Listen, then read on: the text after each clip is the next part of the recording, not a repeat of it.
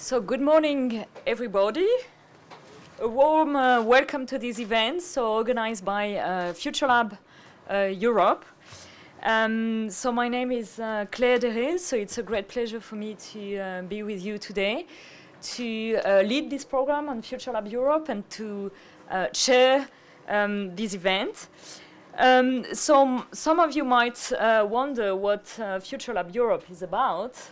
Um, some of you know already what the program is about, but some don't. So uh, who we are, who is um, FutureLab Europe. So it's a program for uh, young people aiming um, really to uh, foster debate on uh, EU policies among the young generation, but also to bridge the gap between young people and uh, policymakers, in particular policymakers at the uh, EU level. So the reason we are here today is that uh, the Future Labs so prepared a great presentation on the uh, future of democracy uh, in Europe. Um, as part of um, these um, publications, so there are uh, a set of policy recommendations addressed to um, policymakers at uh, the EU level on how to move towards uh, a democratic system where the citizens are really placed at the center of the decision-making uh, process. So in preparation to, these, uh, to this event and uh, as part of the work, uh, the preparatory work we had for the publication, um, the Future Labs uh, launched a, a, social media campaign who started some uh, weeks um, ago. Um, so some examples are displayed uh, here on the screen. So using the hashtag I participate and also stating, um, stating uh, why they think that it's important to participate in, in uh, democracy. As part of this campaign, we also had um, a manifesto uh, which has been translated in uh, several languages, so in 11 um, languages. And uh, as a result of these campaigns, so we see that there are some uh, some clear messages uh, emerging from from that. So first, that um, so young people really want to uh, shape the future of Europe. They also think that it's important to participate to protect uh, fundamental uh, fundamental rights. Um, but they want also to make their voice heard and they want to hold politicians uh, accountable. Um, and last but not least, uh, they think that it's important to influence the nature of uh, policy making, both at uh, the European but also the, the, the national uh, level. So without uh, further ado, I would like to thank our speakers uh, for uh, joining us uh, today. So Antonio Silva Mendes, who is um, director at DG EAC, so education and culture, working on uh, youth and uh, sport policies. And uh, Sven Giegold, who is a member of the European Parliament, um, so representing the, um, the Green Party and who has been also very active in uh, grassroots movement, but and also a strong supporter of the European Citizens uh, Initiative. Now I would like to uh, also give um, the floor to start um, the debate by giving the floor to um, our uh, future labbers, so Ivo Visak, who will present you the main uh, messages and the main ideas of, of our publication. Um, so Ivo, the, the floor is yours. So I hope all of you hear me. And uh, first of all, I have to apologize for a few coughs that might come up uh, during this uh, short uh, overview, because I managed to catch a flu. Although I come from the very north of Europe, from Estonia, yeah, you can still manage to catch a flu in Brussels also. So, tere hommikust, kallid külalised, good morning, dear guests, policymakers here in Brussels, friends and fellow future labbers. Uh, my name is Ivo Visak and I will be presenting you the general overview of our, of our new publication that has come out just now. Um, what started as a project for a common market for steel and coal has become pretty much a platform where politics has completely lost the Hobbesian ideas of the past. And where cooperation and magnitude of levels is being tried out and implemented. Continent that was burdened by continuous wars now manages to agree on the free movement of people, as in me being here, goods and services and work together on a variety of policy areas, where old enemies don't remember the name enemy and see each other as partners. In the backdrop, however, European Union has been and is in a constant turmoil of national international conflicts, and where very often direct, urgent response from European Union is needed. What we get is nothing new. European citizens witness dysfunction and stagnation based on status quo complacency. The dead circle creating more distrust into the functionality of the whole system, creating logically less support for the European project. EU-friendly national governments are being threatened by straight-out anti-EU political forces nowadays almost everywhere. They're in Estonia, they're in Finland, they're in... I don't know if they are in Sweden maybe. Uh, yeah, I think they are.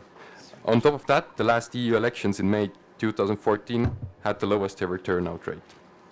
The youngest of Europeans, often perceived as the most EU-friendly of all the generations, had an electoral participation 30% below that of older voters. Europeans, regardless of age, do not bother to vote, and when they do, it is increasingly to protest against the status quo or the current European affairs the Grexit, the Brexit, and for example, again, in Estonia's case, if it should ever come to that, it would literally be the exit. So, better check yourself before you wreck yourself are words uttered by an American gangster rapper Ice Cube, but are nothing more than a correct in the current situation. The sense of urgency has to take over not only us in this room, but everyone in the European Union who value the idea of common European policy making the EU is operating in less and less stable economic and geopolitical environment, most apparent in the continuing Russian violations of international law, and the possibility of a permanent pressure of a large-scale exodus towards Europe. What we had in front of us is an impossible task to solve all the problems. However, uh, this publication concentrates on the actions which are seen by the future labbers as the one requiring the most of our attention. The recommendations can be put into two categories. Ones that see on how to increase the democratic legitimacy of the EU itself, and secondly, on how to bring back the citizens to democratic participation for a citizen-led Europe. So this publication contains five chapters and is written by five different future labbers. Andras Varga discusses on how, where is Andras by the way? Andras. Andras Varga discusses on how we have to change the very core of European political culture, culture which is nothing else but a set of tools, habits, methods, beliefs, and attitudes towards and regarding politics.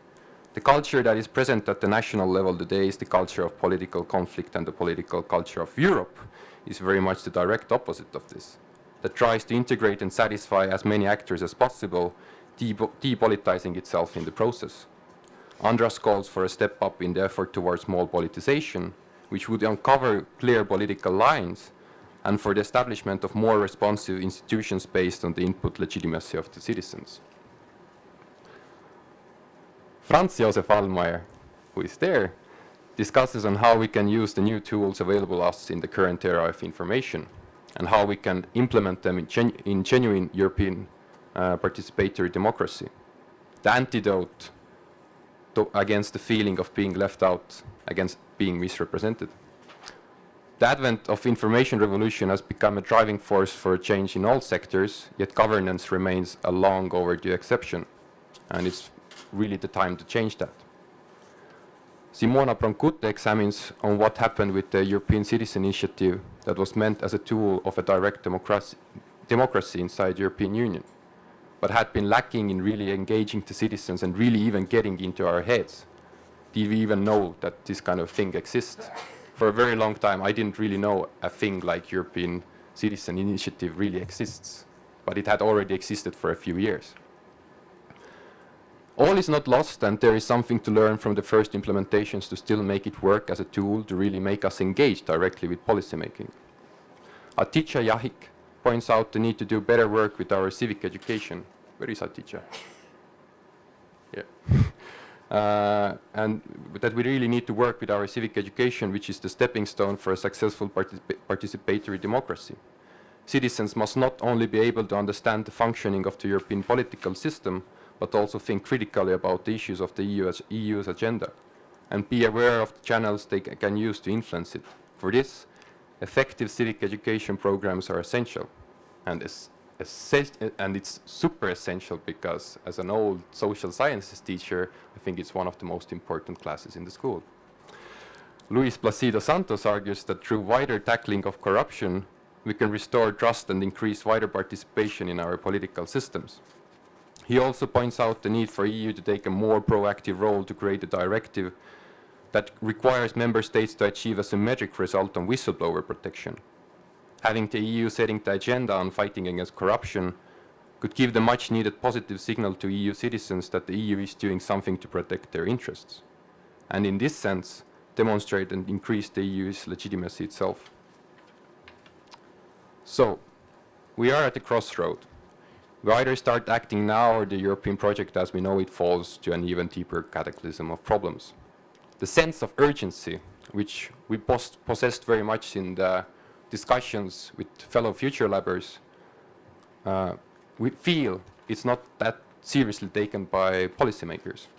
And today, we have the ability to speak directly with you of the decision makers who will most surely turn my remarks, hopefully stating that we are working on it to make Europe great again.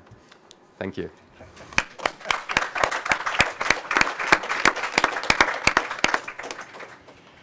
Thank you uh, very much, Ivo. So I think that you um, summarized the long-lasting debates that we had within uh, the group very, very well. So now I would like to uh, to turn to uh, to our speaker um, because we heard that the the challenges are uh, numerous. Um, that um, we heard also from Ivo that we are in front of uh, what you described as, uh, as uh, I wouldn't say an impossible task, but at least a very difficult uh, challenge to bring back the citizens at the heart of the of the um, of our political system and of the decision-making process. So, um, Mr. Silva Mendes, you have been um, involved in uh, many initiatives to make the voice of citizens uh, heard and um, mostly of uh, young people. So could you um, please explain um, so what the European Commission is doing to address these uh, challenges and uh, to ensure that the voice of young people are heard? Okay. I talk here or there? Up to you. No problem. Okay, here is much better. Yeah, thank you. Thank you for this opportunity. First of all, I would like to uh, thank you and uh, congratulate you for this initiative, uh, for the, the report and for the manifesto. Uh, I yesterday when I uh, was uh, preparing myself for, for, for this, for, for the talk, because I was, well, first of all, I would like to, to apologize. Um, because uh, uh, Martine Reicherts, our director general, should be here, and she's sick, so she can't be. But uh, she asked me to, to, to, present you, and it is really a great pleasure for me to, to, to be here and to discuss with you. Uh, as I said uh, yesterday when I was looking at uh, what you are doing and the, the, report that you sent to me, I have to say that I expected a little bit more apologize me, but I, I want to be uh, here a little bit also provocative. We are uh, confronted with a situation where we have problems. We have problems on inclusion, we have problems on participation, we have problems on employment, we have a lot of problems. We have a situation where uh, young people in Europe, we are, you are around 90, 90 million. Uh, we have, uh, as uh, President Juncker said at a certain point, we are confronted with a 26 or 29th member state, which is the more than 26 million young people that are unemployed, uh, unfortunately. So we have a, a, a, dramatic situation. So what we have to do is to do concrete things. Uh, we have been producing a lot of good papers, uh, excellent uh, uh, instruments. Uh, we had the youth strategy that is there, the framework that we have put it in place uh, from 2011 to 2018, which is basically the frame where we introduce the structured dialogue and reinforce the structured dialogue with, with young people. We have, for example, last year, and now it's uh, finished and is published, the youth report, uh, where we take stock of a, a number of, uh, of things. Namely, one of the, the, the main considerations is that uh, this young generation is the generation that has better qualifications, better degrees, has never. Nevertheless, we have strong divisions. There is a, a, a divided situation where some young people have strong opportunities, but others have even less opportunities. So how can we address this, uh, this, uh, this issue collectively? So we have to go a little bit more concrete. You in the, in the manifesto. I, yesterday I, I went uh, to that and then I have to tweet. Because one of the feelings that I have is that we, it's not only you, but we collectively, are always saying, you should do something. And we very rarely say, we have to do something. So what I strongly suggest you is that you really involve yourselves more actively. In the, the, I have to say that I agree basically with most of your of your diagnosis, uh, the situation you have. You, you say uh, that we are living in a complex policy situation, which is true. Uh, we lack with, uh, some responses, which is true. Uh, we have uh, sometimes very, very, very often a, a, a, more national approach to the to the European uh, problems, which is true. I have also to say that we have a strong economic difficulty. The, the economic situation is, is difficult we don't have enough jobs, we don't have enough enterprises. So this is also something that compli com uh, complexify the situation.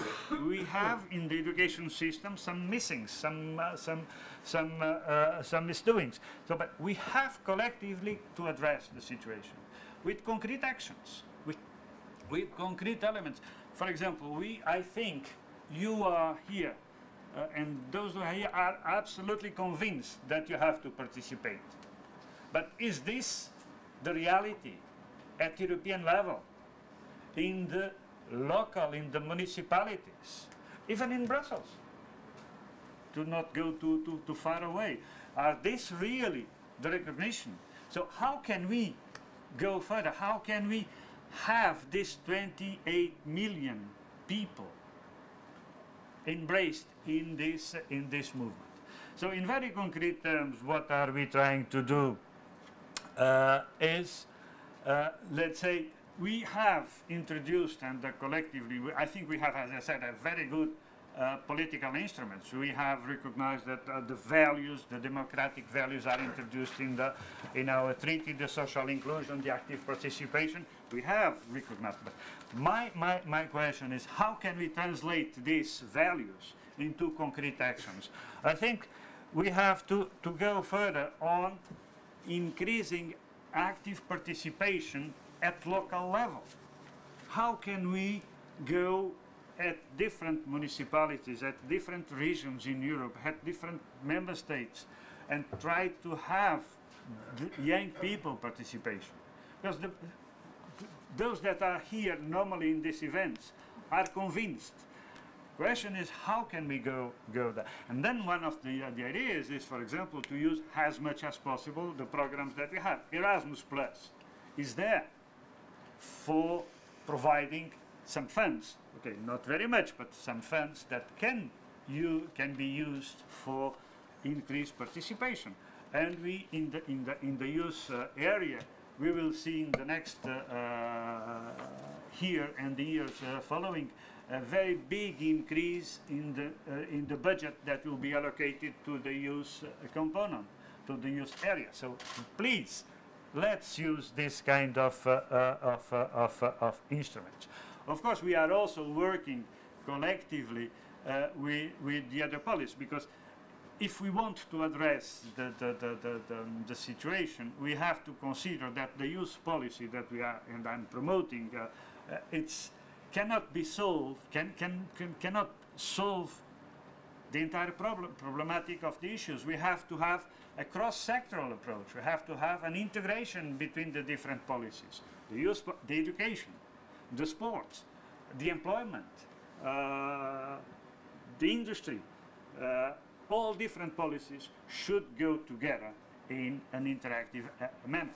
For example, how could we involve more and more the municipalities?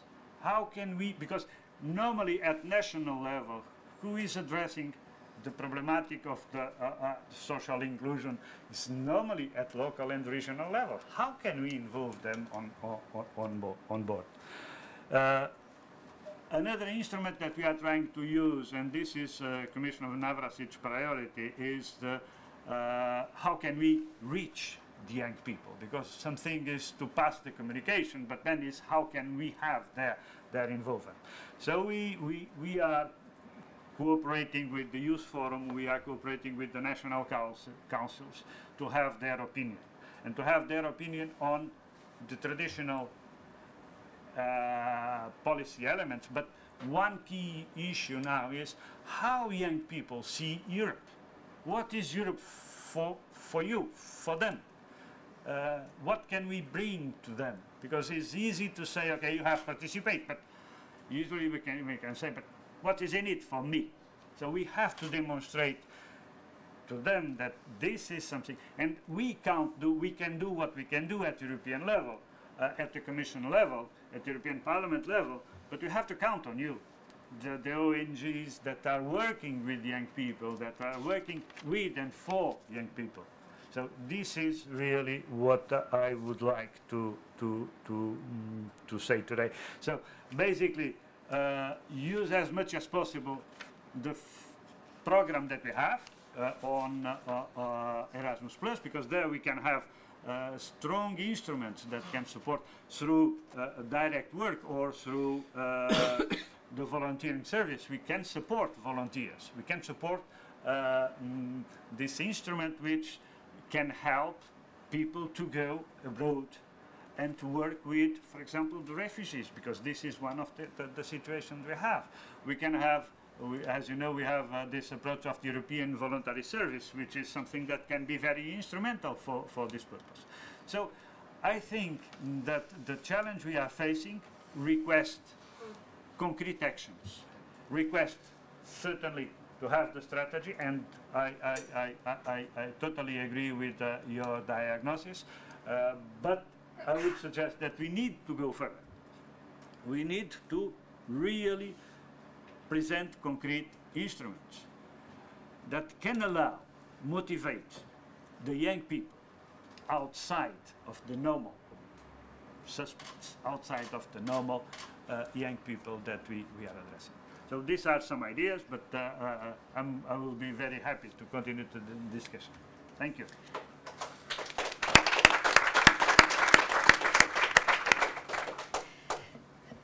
Thank you very much, uh, Mr. Silva Mendes. So, Antonio. so I'm uh, now turning to our uh, uh, second speaker, so Sven Giegold, who has been an MEP since um, 2009. Um, so, as I said, who has been uh, involved in many uh, grassroots movements. Um, so we see that um, citizens are largely uh, disengaged from politics, and in particular from politics at the, at the European um, level. So, for instance, uh, if we look at the evolution of um, the level of participation, so we see that the turnout rates um, in uh, European elections are, are um, in decline, and that there is this growing disconnect uh, between uh, citizens and then their representatives. So uh, my question um, is, um, let's say, twofold and very much in line with also the summary uh, that Ivo provided of, of our publication. So uh, first, um, so I, I, wonder how the EU institutions and in particular the European Parliament can uh, re-establish trust and can also provide solutions uh, to um, the well-denounced uh, democratic uh, deficit that we have at the European level. And the, the second question is uh, more uh, general on the, the state of democracy in Europe. Um, so, and how you think that the EU could promote a new form of, uh, of democracy? Well, um, of course, uh, the answer to such questions can only be 42. Uh, how many understands this joke? Ah, only a few. So uh, yes, so there's a great book uh, which is um, which called where a machine is asked to answer all questions of the world, and it calculates with the superpower of a modern technology, and comes then finally up with the answer of 42. So, uh, of course, the question to be answered and how to invent a new form of democracy is impossible uh, on such a panel. But I would really like to take seriously, rather than giving you now my view of what things have to be done, but taking seriously what you wrote and answer as a policymaker to what you answer. Sorry to allow me, and we can then uh, elaborate. But I would like to say that. Um, just to, to make clear what I have been doing. So I was, since my time at school, active in civil society and was then asked six years ago by the Greens to, uh, to run for the European Parliament and have then in my area of expertise, which is very much financial markets and the control of tax havens, which is also one of the issues in the report, uh, that um, I have then been active in helping to reform the financial system here in Europe after the crisis. And during that time, I made a lot of experience because, in, in effect, lots of the demands which we had in civil society could be seriously debated in the European Parliament. So I would say my myself, I've made a rather positive experience with European democracy. And quite a lot of the things we were demanding in the streets are now in the law. Not everything, but there was real change. So it is possible through the European institutions, uh, in a moment of crisis, like the financial crisis of 2009, to have tougher controls on the banks, to have tougher controls on European financial markets, and hold um, financial players accountable to democracy. Uh, but at the same time, I also learned that there was very quickly the, the limits of what could be done were reached. And, uh, and this uh, led me to, in the new mandate, to concentrate much more on issues of democracy. I'm now um, the, um, the rapporteur for an initiative report in the Constitutional Committee, which is my second committee, which is called um, Transparency, Integrity and Accountability of the European Institutions. And this is exactly uh, the issue of your report. So what is the functioning uh, of democracy in Europe? Why are we in, in trouble? And, uh, and what can be done about it? Uh, and this was my interest in that subject was shaped because while I was a policymaker on financial markets, uh, I, I learned uh, that we have here in Brussels 1,700 stakeholder representatives, many often called lobbyists, uh, paid by the financial industry, while there are only 40 who are paid by consumers, trade unions, or the like, who work in the same area but are not paid by the financial industry themselves. So you can see a huge imbalance of influence on the European democracy by the ones who mo have most money to pay for it while the ordinary citizen is of course represented, hopefully, through their government, through members of parliament, through the European Commission and the like, so the institutions which should act in the common interest, but very often, of course, are under pressure by powerful vested interests, which then lead to policy results which don't serve all. And now I would like to come back to what I see the main subject of your report. So why are large parts of society uh, lost their love with the European project and have lost trust uh, with the European project, and what can be done about it. And I think, of course, what is key in order to trust democracy is that people have two feelings. First, the democracy serves their interest, and second, they can have a say. So, and, and the distrust in democratic institutions is not only specific for, Europe, for the European Union, but it is equally the case for the member states, and it's even the case equally in Japan and, and the United States. So if we take a bit wider view on these subjects, it is a crisis of Western democracy.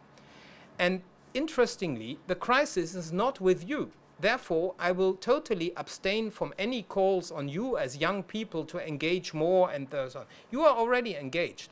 I don't have to Europeanize you because you are already uh, European, probably much more than I am. Your English might be more elaborate, uh, you have been in love with more other Europeans than I was, and so on. So, uh, so you are already the European generation. But the trouble is when you come to your home member state, the people who vote for the anti-Europeans, you feel much further away from them than from this group here. And that is the trouble. And the same you have in the United States. The young who applaud Bernie Sanders, they feel so far away from these crazy supporters of Donald Trump. And, uh, and that is the real issue. So the speed of modernization, the speed of integration of the global market has produced winners and losers. And our society is more and more split. And the ones who are well educated, who wear already a tie when they are 20, and the ones who, have, uh, who are scared that uh, their parents will lose their job or have already lost it, and they feel themselves they don't bring the cultural and education capital with them in order to profit from that huge speed of development of humanity, which globalization is. I think it is a huge opportunity, but it leaves many people back, backwards. The ones who have now to compete with the wage rates of the poorest in the world because they have not more cultural and education capital. They, uh, they are their wages were lowered or have not developed, while the richer were profiting. And with richness, I don't mean only money, I also mean cultural capital. Those have profited and they feel further and further away from each other. And the trouble is, democracy can only function on a certain level of social equality. And with social equality, I don't mean mainly money.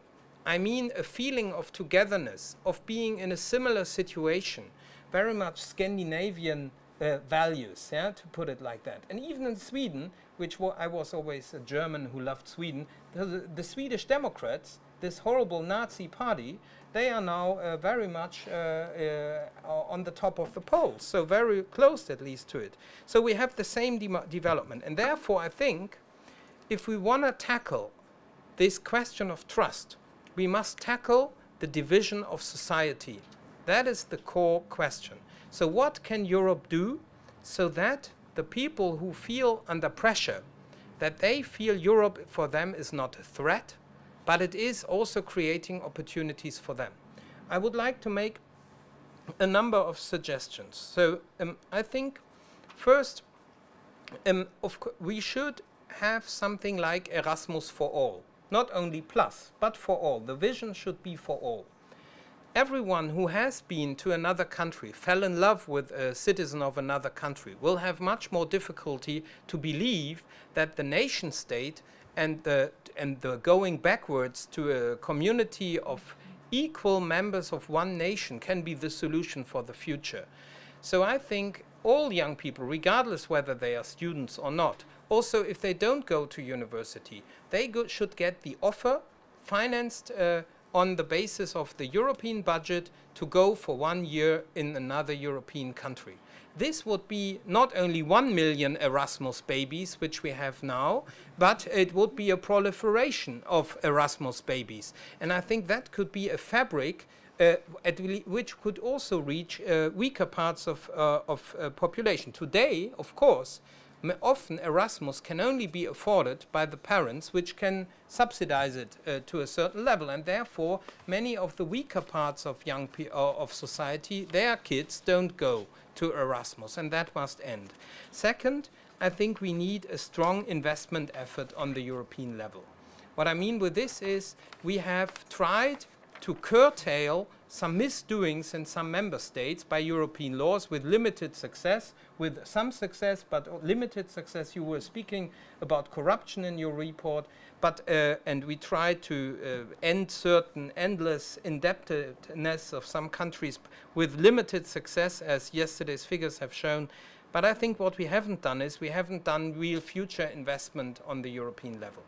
And we have the opportunity to uh, create uh, a real investment program which should be geared towards uh, the future sectors. So, what I mean with this is education, uh, health, uh, but also, of course, green technologies which reconcile welfare with uh, the sustainability of the planet. You can hear I'm a green, yeah. But uh, it's uh, I believe we have to invest in these future technologies so that not in the end uh, we will be, uh, uh, I put it uh, to the extreme, losing our competitiveness edge uh, in comparison to other regions in the world, in particular Asia, which develops uh, with a, a, staggering speed, in particular in future technologies.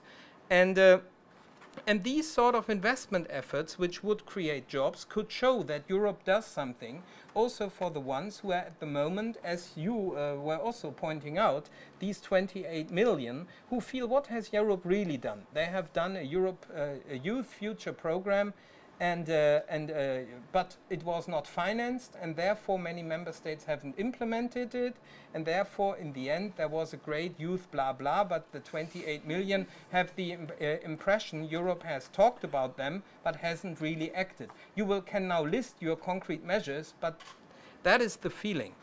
So that so therefore, to put it short, I think we have output problems of the European uh, project. We do not solve enough these real questions of society, and, and Europe doesn't uh, visibly uh, act in enough in order to come out of that mess. And why is that the case? I believe the key thing, and there I agree with the report, is that our institutions are based still on, on the lowest denominator of the member states. So very often it is not the European general interest prevailing as an outcome of our decision making in Europe, but it is, uh, it is that uh, the member states uh, all uh, have to decide together in the council behind closed doors and uh, very often very far away from what, uh, what is discussed on the European level and even less uh, what they, they have truly discussed in their member states. So our decision-making system is still is not fit for a time of strong European integration. It is still basically, to a large extent, a collection of member states, and the member states block each other uh, to solve the crisis. And therefore, the crises are piling up. So the social crisis, the Eurozone problems, our lack of effective foreign policy, which was um, named where Europe is weak because we have 28 foreign policies in many areas of the world and not one. And uh, the same uh, holds, of course, true uh, for problems of human rights and democracy in some of the member states, where basically Europe uh, is not able uh, to really act if certain principles uh, of parliamentary democracy and fundamental rights are violated in a part of our own countries. And uh, the same holds true with the common migration policy and the many deaths in the Mediterranean, where visibly Europe is not able to find a proper solution uh, so that uh, this is uh, ended. So, and I would say the the common the common policy outcomes are not there because we still depend on behind closed doors smallest common denominator and uh, in the council of member states and not by a true politicization as it was uh, discussed in the report on the European level what is the European common good and then take a decision uh, in the collective interest. And this is now a long history of uh, many member states as well, because uh, many of our member states, Germany in particular, but also in Italy and France and so on, it was a struggle between center and the regions. And now we have in Europe a struggle between uh, the common interest and the member states in many areas. So we are in the disease of federalism, to put it like that. And, uh, and this can only be overcome in moments of crisis. And my hope is now, and there I think it would be important that many raise their voice, is that in particular the vote on Brexit uh, forces many member states to rethink whether they now want to let Europe move into not a great again, but a, a collective weakening, uh, or whether after that Brexit vote, until then nothing serious will happen in any policy field. But after this vote, will there be from France, Italy, Germany, Poland, many others, a rethinking whether they really want this weakening of the continent or whether they are ready to share more sovereignty in a democratic uh, way. And, uh, and that is, uh, of course, can only be done uh, with changes in the treaties. So without some changes in the treaties, it is impossible to come to that politicization because at the moment, regardless with, with which program you run, you cannot realize it. Because if you vote for Juncker rather than for Schulz or for a Green Commission president, as you are suggesting, once the guy is at the Commission uh, uh, top, he still depends on the member states and cannot act. So Juncker promised lots of things. Many of them he will never realize because he, he it is not a true government in the sense it has a parliamentary majority, a government, and then they take decisions, but you always depend uh, on, the uh, on the willingness of the member states. So if we want a stronger democracy in Europe with more input, we must dare true European decision making. So with publicity of the decisions, with um, and then also a, a, a governmental level which uh, is truly able to deliver uh, what it has promised after, of course, verification in a parliament. So I think the, the big issue is if you want to have more influence and more politicization of the European level, you need uh, to define clearly what is common European policy, and that should truly be decided on the European level, and what is left to the member states, and that should be on the level of the member state. But the mixture of the two ends up in a piling up of not uh, um, convincingly resolved crises. And lastly, in comparison to this challenge, all the nitty gritty details about some more education, how Europe works, some more European Citizens Initiative, and so on, this seems to me all very small uh, in comparison. So these parts of the report, all the suggestions I, I, I, I support, but I think I mi they miss a bit the point why people don't join these initiatives. And they don't join them because they have the feeling if they join a citizens initiative or if they send messages to politicians, it has not the true effect. And people participate if they feel that their participation changes something. And they change, uh, you can see there I'm an economist by training. So uh, it's a, so, and they change things if, if institutions can truly take decisions. And our problem today is that the institutions of Europe uh, are, have difficulties in the key questions that matter to take decisions in the collective interest. So therefore, I would call on the Future Lab to think more uh, with their demands on this social gap, and second, uh, on the ability of institutions to truly, truly take decisions in the collective interest because only if we have real decision making capacity on the European level, people will feel it's valuable to call on these institutions and to trust them. Uh, uh, otherwise, uh, it is a bit participation into a policy space which has huge difficulties to agree on anything meaningful. And I think it's exactly this feeling why people lost uh, so much hope in the European project. So these would be a few reflection on your report, and I'm very curious what you are going to say on that. Thank you.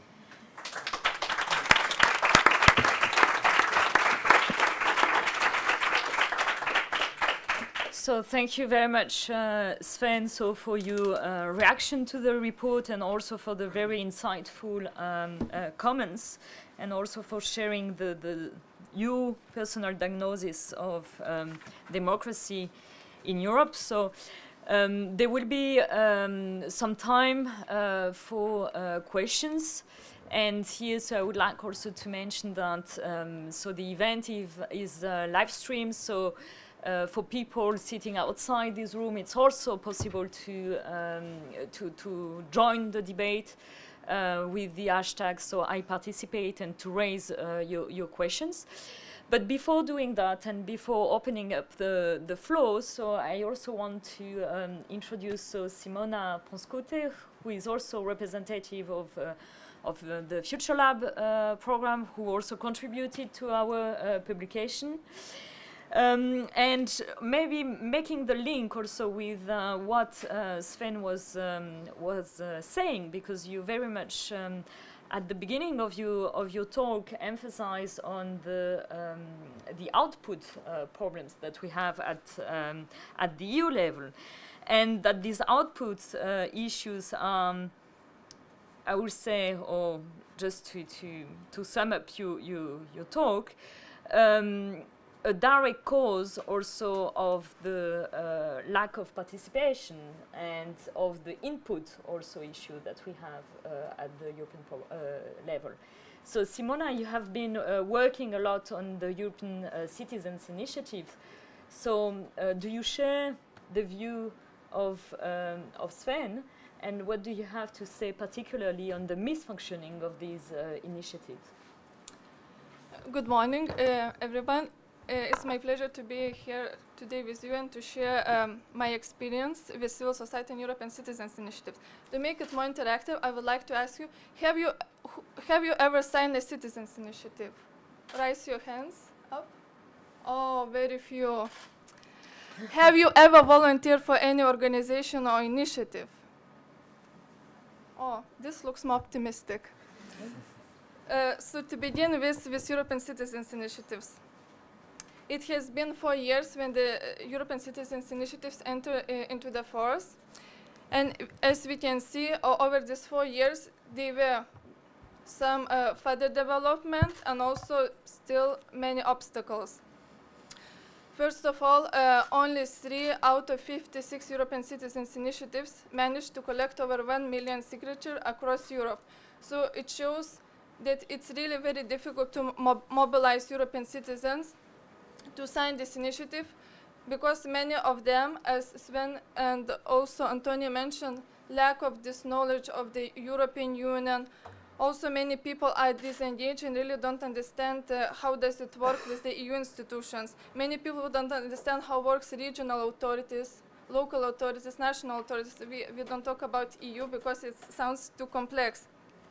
So what I experienced over this uh, last four years is that uh, um, th the biggest challenge is how to involve disadvantaged people, how to raise awareness of citizens' initiatives in general, and also even on the petitions, uh, on any kind of these activities. It's very difficult to empower these people and to explain that, that they can be a change make makers as somebody also mentioned that if you go to events, even events about European Citizens Initiative, you would meet almost always the same people.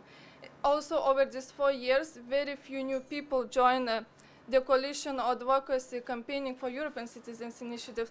So it shows that, yes, European Parliament, particularly Greens and some other MEPs, they, they strongly advocated for more citizens-friendly European Citizens Initiative. European Parliament passed a resolution that uh, Commission should collaborate closely uh, not only with European Parliament but also to involve, for example, Ombudsman, European Economic Social Committee, Committee of the Regions, but also that civil society should be more in involved uh, in this uh, process uh, regarding the further development of European Citizens Initiative. So if we uh, look at, at this side, we can see that yes, there is some development, but we have a decreasing number of European ci Citizens Initiatives. And why it's happening? It's happening because uh, many of uh, initiative takers are volunteers. And it's very difficult, you can tr trust me, to commit two years of your life to work on voluntary basis and to strongly believe it. It's very difficult to convince your peer fellows to believe in the same thing for two or three years. You can be very enthusiastic in the beginning, but what happens next is that uh, many of these people, they are not professional campaigners. Many of them, they don't have a huge networks to international organizations, to European organizations. So also it's uh, more difficult to make an impact. I can give you a very good example.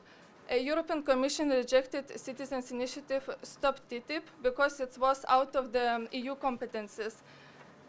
Nevertheless, uh, organizers, they strongly believe in this issue, so they launched a citizens organized uh, initiative. Uh, it's collected over 3 million signatures within one year. It's a record. It has never happened with an official European Citizens Initiative.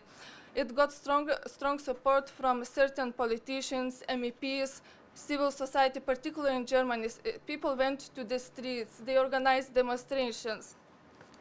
But what happened that um, certain responsible uh, European institutions didn't react to citizens' concerns.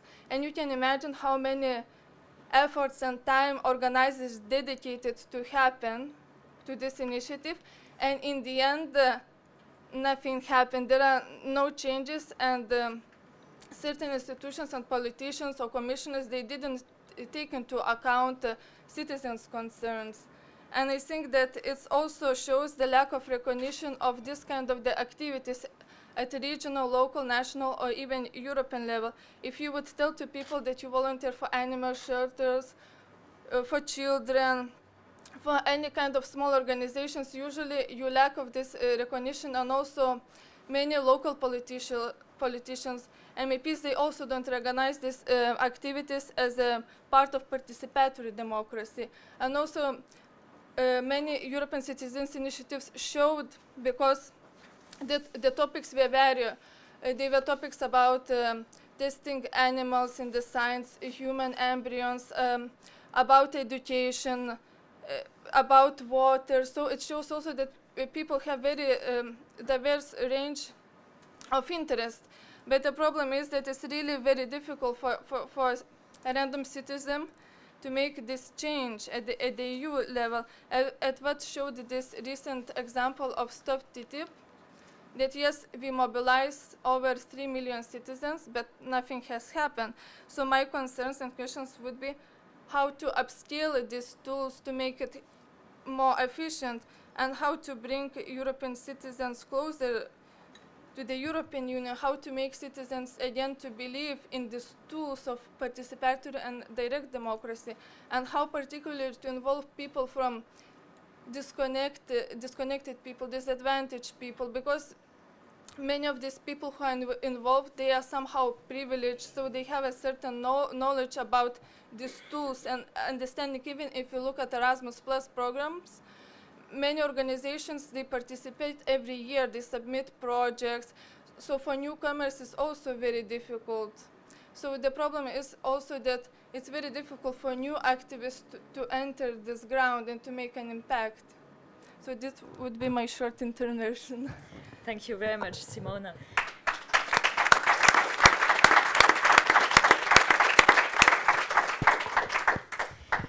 So, uh, as I said, so there will be some time for uh, opening up the floor and also for involving you in the in the discussion. But before doing that, I would like also to give the chance to Ivo, maybe to um, to react to the speaker's intervention. Yeah.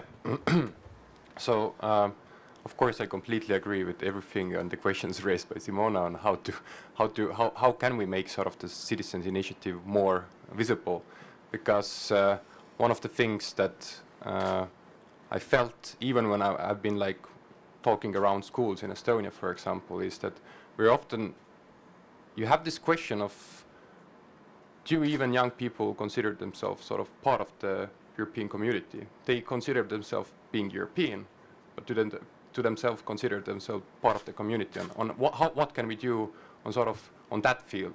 And very often we talk about social sciences, but I think the subject itself should should, change into so, uh, social participation classes or whatever else, because uh, I think the participation level is much even often much more important. The knowledge comes very often from the practical sides, and uh, the practicalities often lead us to the other developments. So what, what I see and uh, where I also uh, agree a lot with Antonio is the part that these uh, programs like uh, structured dialogue, they're very useful, but still uh, they very often sort of lack the necessity to really uh, gather everybody into this uh, into this movement. So so if we if we young work with young people, we really really have to push that the, the same idea that sort of the feeling of being part of the being the European people has to be very much implemented also into these programs. Yep. Yeah. Antonio, you want to, I see you want to react? Yes, uh, two things. Uh, on the Erasmus, on the Erasmus Plus uh, program itself, I believe the way the Erasmus Plus have been implemented, it means even if it is called Erasmus Plus, i the intention is Erasmus for all. Because the, the initial idea and the initial proposal, even uh, from the Commission, was Erasmus for all. But uh, we get this kind of consensus. Nevertheless, the content in, in itself is trying to combine uh, the excellence from one side, but also the equity and the inclusion from the other side.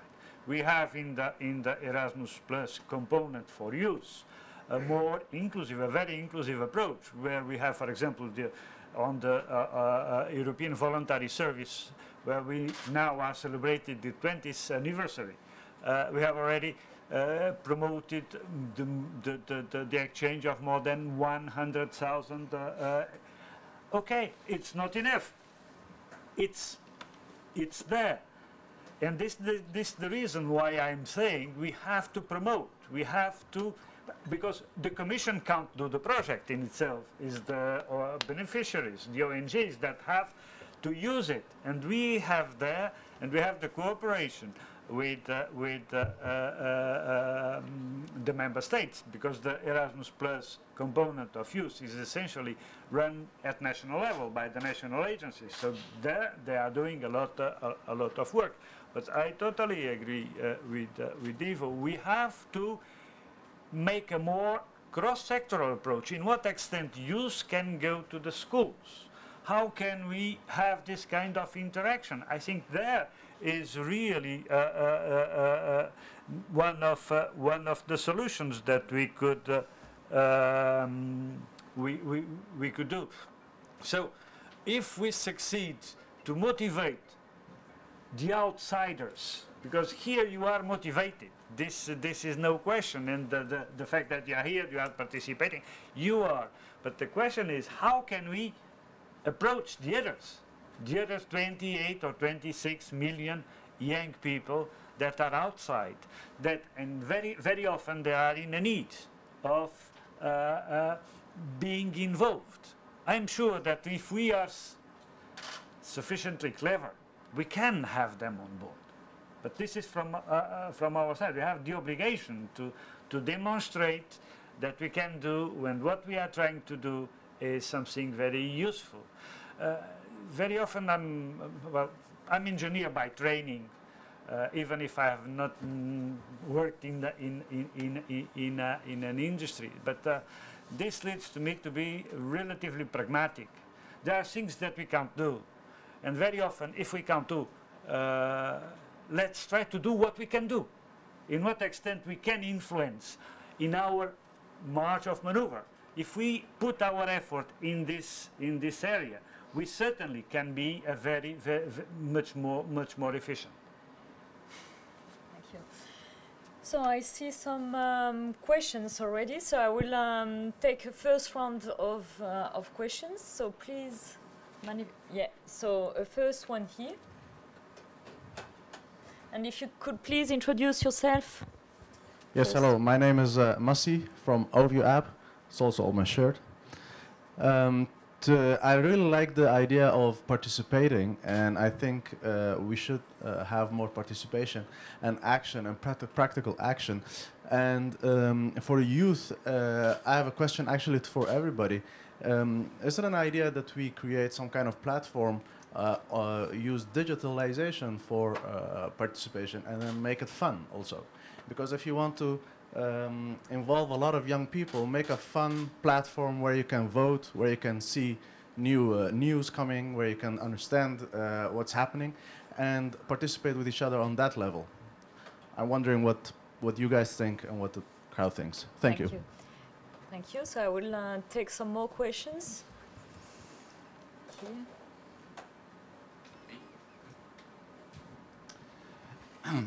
Uh, thank you. Uh, Professor Linson from the MNRC Newpol Network. Um, I've trained as a physician and specialized in neurosciences, but I also play the piano and violin. Uh, yes, um, I have a few um, comments to make. I make them short. Um, uh, Sven, you're my first victim. Um, yes, uh, lobbies. Uh, one powerful lobby that is largely underestimated is education. Has devastating effect. There is a need for a fundamental education revolution, and uh, traditional uh, education is pulling everything back. Uh, youth. Um, I mean, it's just like the elderly. I mean, the youth and the elderly. I mean, they are, they are not special species. They all form part of society. So. Uh, Thank you. Thank you. Uh, and uh, finally, Antonio. Um, I hope you won't shoot me at the end of uh, my. Um, so it's not nothing personal. I, you. I don't know you, so it's. Uh, okay. Um, you say you we need your participation. I mean you. Uh, okay. Um, I attended a debate on Imagine Europe at the Beaux Arts, a debate between commas. And uh, there was a representative from the European Commission who said exactly that. He made a speech and he uh, finished his speech by asking the audience to participate. The audience was not invited to take part in the debate. In complete contradiction with uh, the um, European Commission representative.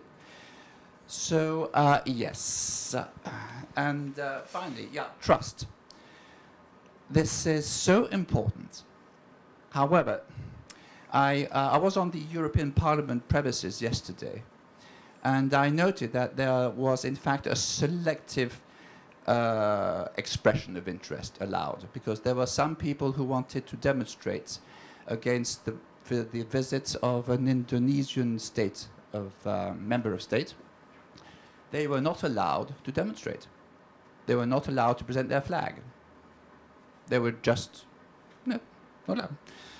Second thing is that, well, uh, Eurosciences, or Euroscience, Foresight, and the EIT are so-called European institution initiatives that have been directly inspired from my work without the slightest economic recognition, a complete violation of intellectual property rights. And uh, there is, uh, for the moment, um, legal action that is being uh, considered against DG Education and Culture and the EIT for plagiarism. So I recently wrote an article entitled uh, European Institutions, You Are Exasperating. And to my mind, the European institutions should stop messing around, creating projects after projects that have little or no sustainable impact on the citizens' well-being quality of life, and instead first concentrate on three points. One, settling its own chronic internal dysfunctions before allowing itself to give advice to others or set an example to others. Uh, recovering the citizens' trust and credibility. And finally, to also perhaps uh, concentrating on trying to integrate the already existing projects and past projects together for maximum added value, this would lead to innovative solutions that have yet to be found to achieve and sustain the citizens' well-being quality of life. The European institutions are unable to do either. Thank you. Thank you. And I take a third question, so the gentleman. So there will be other rounds of questions, so don't. Yeah, my name is Tony Venables, and I just finished a book on these issues, so I'm very interested in the debate. I think Erasmus reaches about 4 million people, and uh, I had to do some calculations to take up uh, Sven's proposal of an Erasmus for all, and it's about half the current budget, so there's a big leap. If you really wanted Erasmus for all, it would cost something in the region of 70 billion. And it's important because unless a more critical mass of people are educated and informed, any reforms by the EU will not work. They, they don't register with enough uh, uh, people. I'd like to suggest something for Future Lab, which I promise you is not in my book, going beyond it. I think it would be worth, nevertheless, working on some small steps um, and to think about uh, what a European public sphere actually means. I mean, it's, it's sort of touched on by a lot of people, and I think it can be brought down to a more practical level. I think there's three things. I think the first is that a lot of it does exist, and the, the Commission has public spaces in all the member states practically, but they, they need strengthening. They should be real participation spaces run in conjunction with civil society because the Commission's costs are far too high to do this properly. They need alliances. And that would be physical spaces linked to a, a digital approach as well, of course.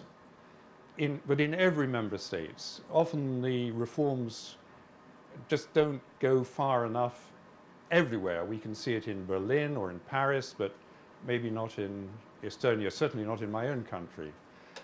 The second, the second thing I would recommend is, is one word mentioned by the Commission of synergy. I think there's a, always a tendency with the EU to seize on the latest reform, uh, like Citizens Initiative, as is, is the gadget which is going to solve the, the problems. And I think one could look across the board at complaints, access to documents, petitions, the role of the ombudsman, citizens' initiatives. They're all means to the same end, and and work on them, develop them, get them better known. And the third thing is, I think this is more, perhaps more radical. I would radically change the funding situation. I would fund the European public sphere, so the translation costs, some of the travel costs, communication costs, and stop grants to individual organizations which come up with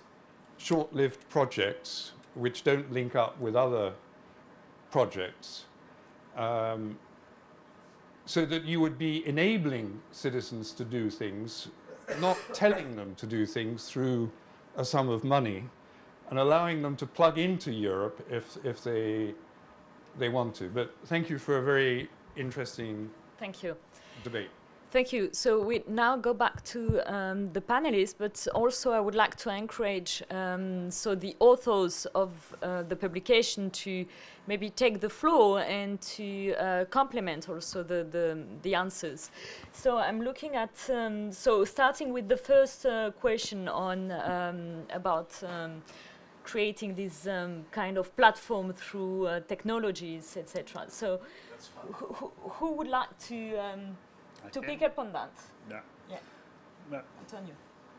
Uh, on this specific issue, on the specific issue of the digital thing, I think it's a very interesting uh, uh, uh, approach. Uh, as you know, we, we have uh, now trying to uh, reformulate what we call the European Youth Portal in order to become more interactive. Of course, we are still in a web traditional uh, approach, even if we are talking about a portal. It's already, it can create a sort of a more interactive, but it's still something that uh, it's not yet completely integrated in the new, in the new uh, social media area. We have to, to have something that integrates all the different elements. And at, European level, at, at institutional level, we can, we have to be uh, honest with ourselves. We have not some flexibility, the flexibility that we can have. But this kind of initiatives can be also supported under Erasmus+.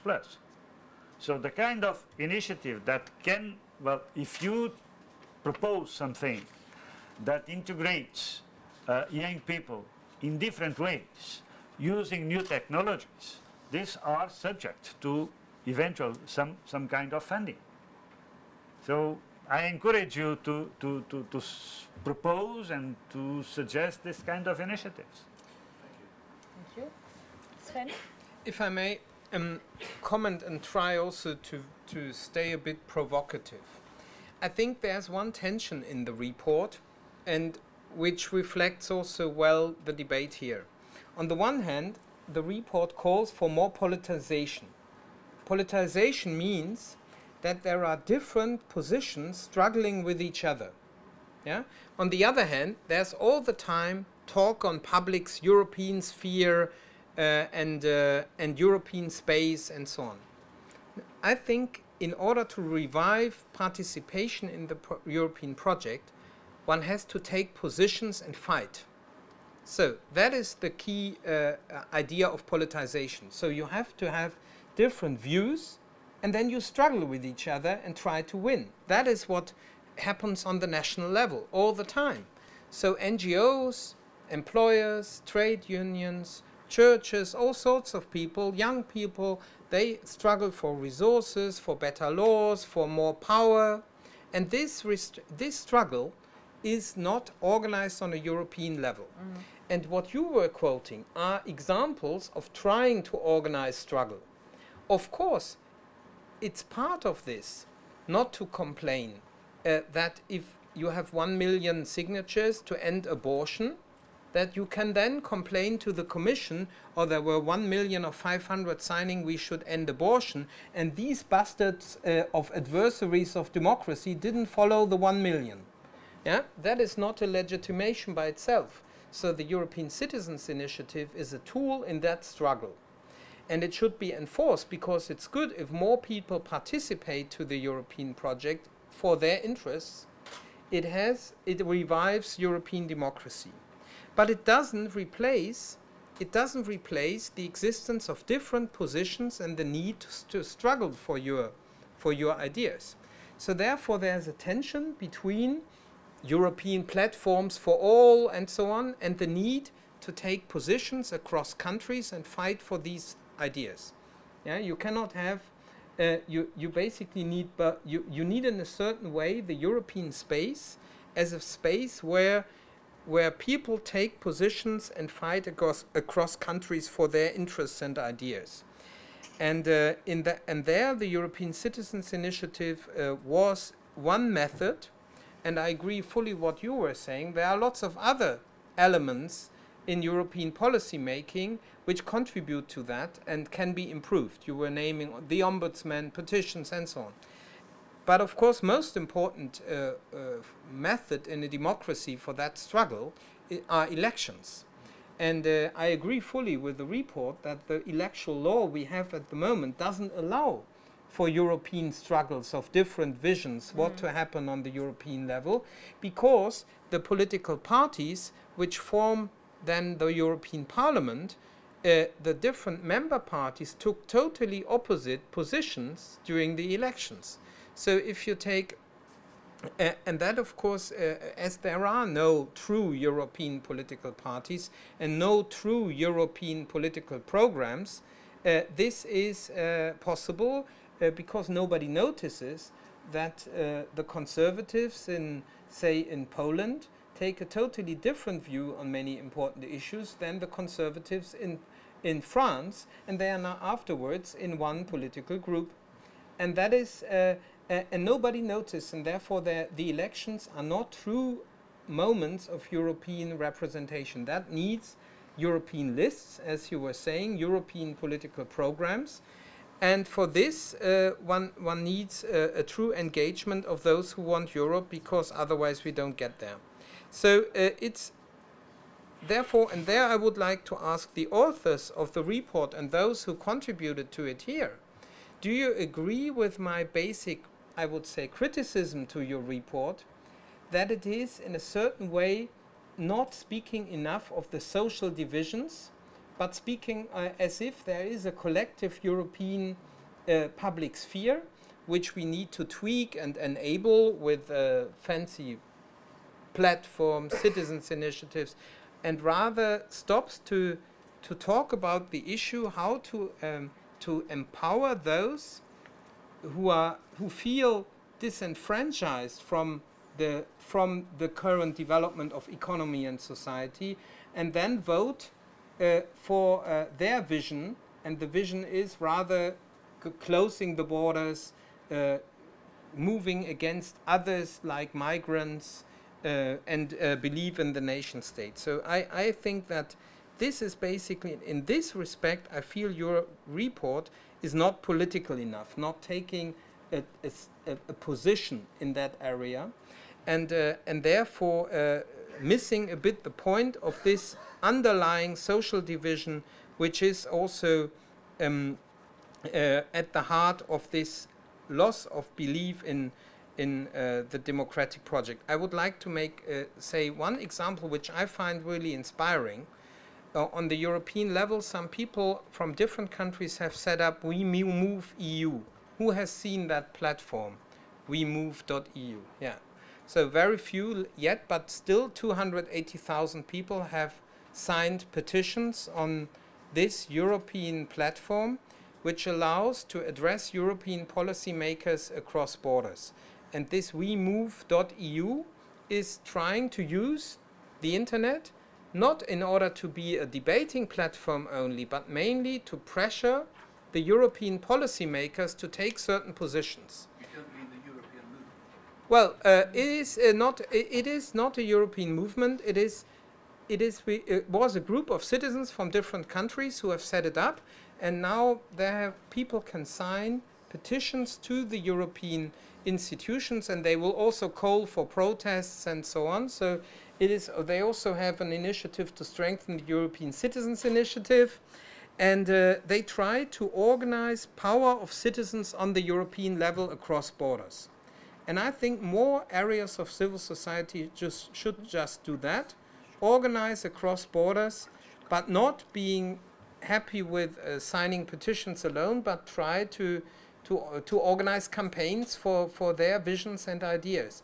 And that is the basis of a European civil society, which has to, a truly European civil society, which is lacking so far. It is more limited to, as you were saying, some organizations which are co-funded with European money. Uh, so that is what, uh, what I find, uh, what find truly inspiring when people get acro together across borders to fight for their ideas in contradiction with others. And then we have living European democracy. Mm. Thank you very much, Sven. I see that there will be some uh, reaction from the authors so on, on, your, on your point. Um, because so there was a clear chapter on, on that, so on the need to create a truly European political culture with uh, with clear political lines and um, also clashes between yeah, uh, yeah, be yeah. between parties. But before giving them the, the, the floor, so I just would like both of you, Antonio and, and Sven, also to address the question on the need to reform education. Okay. Uh, I think one one of the issues we are we are still living is that uh, we have very many individual initiatives and very little synergies amongst them in the different areas. We are addressing the, the problems uh, by doing uh, individual policies, individual initiatives, but when we do this initiative, we are not looking outside the, outside the box. We are not looking what the others have done and how can we build on the acquis that they exist. Uh, we launched uh, last year a database that can be uh, consulted by everybody on the different projects that have been financed through Erasmus+. Uh, if you are there, and I just look at it, on the youth component, we have financed at national, at European level, 14,000 projects covering the word youth. So you can go there and to see what exists, who, what is financed under the project, who is participating, who are the different partners. So this is an extremely useful database that can allow everybody to understand where are we and can build on that. So I think one of, uh, uh, one of the areas we have to address is this, how do we build on the, on the, on the, others, on the other experience? The other aspect is uh, the education areas have to address the situation of the moment. How can we open this, the schools, for example, to the outside world? So this is one, one extra element that we have also to, to address. How can we connect the youth NGOs with the schools? So this these are areas where we, we, we, we are focusing now. And at the end, how can we uh, be sure that the education is answering the needs of the society? Uh, sometimes, uh, well, the, my previous responsibility on vocational training, one of the main uh, uh, questions we were getting is that uh, there is some misunderstandings in the perceptions. If you ask um, CEOs of enterprises uh, what they are, if the education school, uh, the education system is addressing the necessary uh, questions of, uh, uh, in terms of skills for the market. Uh, enterprises were saying 70% no. If you ask the same question to the educators, they will say 70% yes. So there is this kind of misperception that we are lacking a common understanding. So one of the, the, the, the issues here is putting together again the different stakeholders to address the common issues. I think this, for me, one of the, uh, is one of the challenges we have to face is how can we collectively have the same approach and how can we integrate the different areas in a more common mm, political uh, uh, umbrella. The synergies between the different sectors is one of the most important areas that we have to address. Okay. On the education? Well, on the education, um, I think uh, it is true that uh, European institutions and how you can engage on that level, of course, should be in the curricula. Uh, on the other hand, uh, I have noticed over the let- last 20 years one pattern. Always, if you have difficulties with a problem, you call on two things. First, on young people to solve the problem, and second, on education. Uh, that is very cheap way of, for politics to getting out uh, of a problem because you shift uh, uh, the solution of a problem uh, first to young people and second to it's something uh, about ideas. I, I don't say it is unimportant that you get education, but if the if we see the European democracy pro- uh, at stake, then to call on education while uh, the adversaries of European democracy are gaining in the polls, that seems obviously not an adequate uh, reaction. So therefore, I agree that should be on the curricula. You don't learn enough about Europe. It's true, people move too little uh, to the European institutions uh, so that they can learn about it. It's also true there are lots of initiatives already financed by the Commission but also by others to, to help uh, young people and others to uh, understand European democracy. On the other hand, uh, we, there are reasons why in more and more countries, many of, in particular young people, vote for the extreme right. Uh, and therefore, the, we have, and that is basically my point I addressed also to the authors. Uh, I, I don't say you missed the point about the lack of controversy. Uh, that is true, you addressed it in your report. What I think you, you didn't address is that the, there are social and economic reasons uh, for um, a growing part of young people to lose hope with the way how our society and Europe is run. And that has to be tackled, and it should be at the heart of our uh, political commitments, because only if they see hope in their future, they will start to use what they learn at school about European uh, democracy and participation. Uh, uh, and this point, I think, is, is, is absolutely critical. So that I would say the ones who have been on the better side of life, uh, that they start struggling also for those uh, who have so far been left behind. And if we continue to leave them behind, they will start uh, destroy, uh, continuing or continue to destroy our European future. And that we shouldn't let allow. That is my basic criticism and, uh, and the point I think which I lacked a bit in the report. Thank you. So I see some reactions from the from the Future Labbers. So Per, so who also contributed to uh, write the, the introduction of the publication.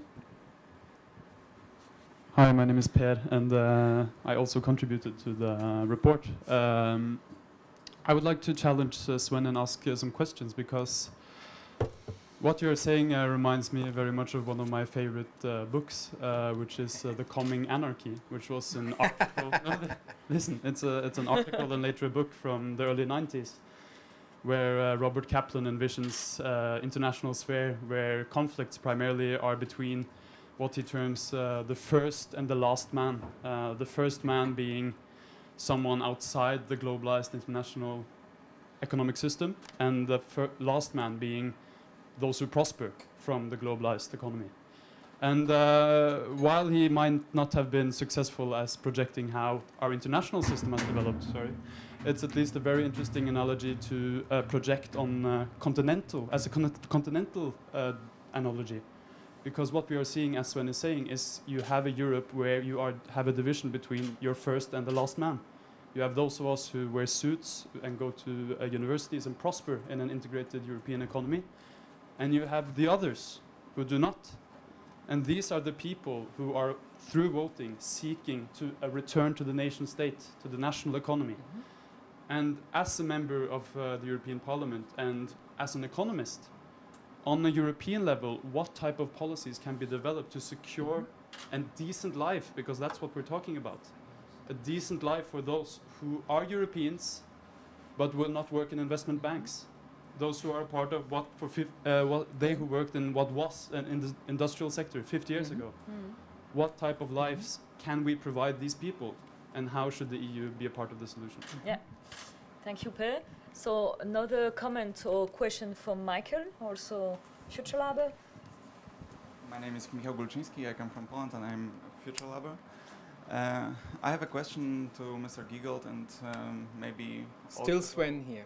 Uh, to uh, Andras, who wrote the first uh, chapter, because you both support uh, the idea of politicizing the uh, European public sphere, and on the other hand, you said that in order, uh, when we want the, the democracy to work, we need some level of equality, social equality.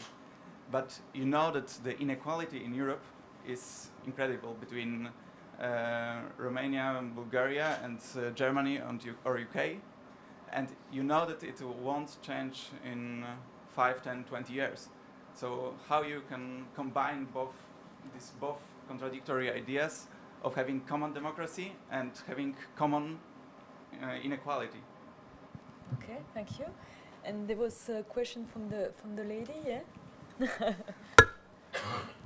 Um, hi, I'm Janice Thompson from the ECI campaign. Uh, before my question, I just wanted to make a note about gender here because you've only heard from men.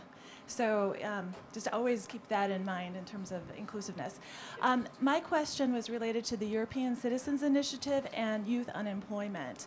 So I actually the bigger problem with the ECI is not that it's not well known, it that it's been designed in a way that is neither usable nor impactful. To your point, Mr. Um, Giegold. And the European Parliament recently strongly uh, approved a report asking the Commission to make it more usable. The Commission's res- response was to do absolutely nothing, to say we will do nothing. And they gave no explanation. And in a December meeting of the College of Commissioners, they said the ECI was used on divisive topics, on niche topics. But when you actually look at some of the topics, not the ones that have, have succeeded, but a lot of the others, they're dealing with really core issues of environment and especially youth employment, unemployment, where that comes in. For example, you had unconditional basic income that proposed a unique solution to the lack of jobs. You had Act for Growth about supporting women entrepreneurs who are big job creators in the EU. And you also had Simona's Fraternity 2020 that talked about the issue of paid traineeships so that less affluent youth can get the skills and job experience they need to get jobs. But yet the commission's response is, we don't want this at all. They're saying to the citizens and to youth, we don't want to hear your ideas. It's you're too dangerous. So how do you respond to that sort of attitude where the commission isn't even willing to make this usable so we can get the ideas of youth, so we can mobilize youth. And another thing too, to Mr. Giegold, is the ECI has really been used to mobilize and build social movements. It's, it's um, bringing new people into EU affairs and connecting people across borders. All ECIs do that, but yet the Commission is saying, no, we don't want this. How are we supposed to move forward with that Mhm. attitude? Thank you. I um, go back to the panelists now because I see that there are some a lot of questions. So, um, so maybe and Andras because so one of the question was also addressed to, to you. So please. Uh, hello, good morning, everybody. I'm Andrzej Schwarga. I'm, uh, I've written the chapter number two, uh, uh, which is about the politicization of the European Union. Speak in the mic. Uh, oh, yeah, I'm sorry.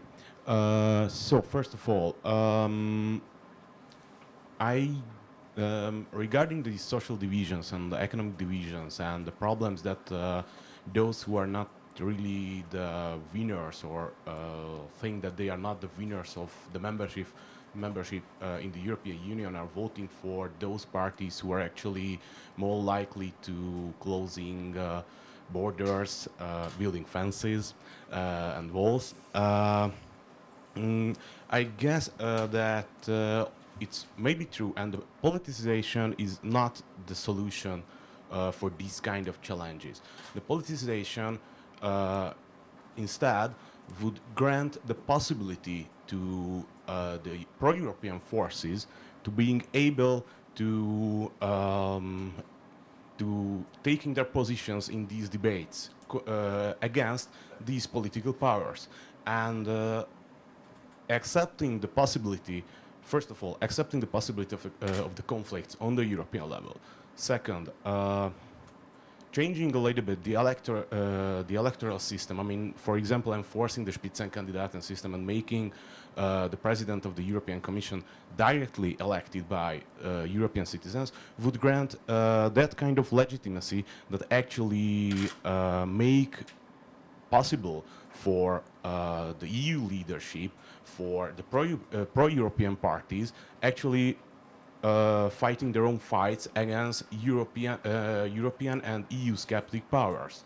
And uh, secondly, I mean, my second point, which is actually missing from uh, from the publication, that the social, I mean, I guess that the EU, there are no losers of the EU membership. Uh, even the poor uh, in the poorest classes, uh, they became a little bit, um, you know, mm, became to enter in, into a well in a better situation than before, but they are not aware about it because the perception uh, actually missing from uh, the member states level. Why? Because the national political leadership says that the EU doesn't uh, doesn't do anything, only uh, useless regulations upon us. Meanwhile, if the legitimacy would be higher thanks for the di- uh, different electoral uh, methods and uh, uh, the EU leadership and the pro-European parties would stand for these values in the national political debates, then the perception of the every citizen will change as well. And I guess that if, for example, uh, Juncker says that, okay, hello, uh, my humble uh, Hungarian friends, uh, the situation is that we actually gave you a lot of funds and a lot of helps. So if you don't would like to build more walls or more uh, more fences, then maybe you should um, you, you should consider these kind of uh, values at the next elections. And uh, of course, the politicization is not the solution for social divisions. Social divisions uh, are highly more complex issues, and I'm uh, a political scientist, so I'm not trying to resolve those. So actually, I mean, uh, no, I'm sorry, I'm, I leave this for the economist. Okay. Uh, so. I guess that uh, that will be my suggestion regarding uh, my chapter. Thank you. Okay, to uh, summit, um, summit all. So we have uh, one question on uh, ho- so the role of the EU to address social uh, inequalities and the social divide. So what are the EU policies that can be uh, put in place? Then we have another question on more specifically on the ECI and the attitude of the, the Commission towards the ECI, and then the one of Michael on how to combine the two objectives, um, how to combine a pan-European democracy while still having so a high level of inequality uh, uh, between uh, member states. So who would like to, to start? As you want. Sven, please.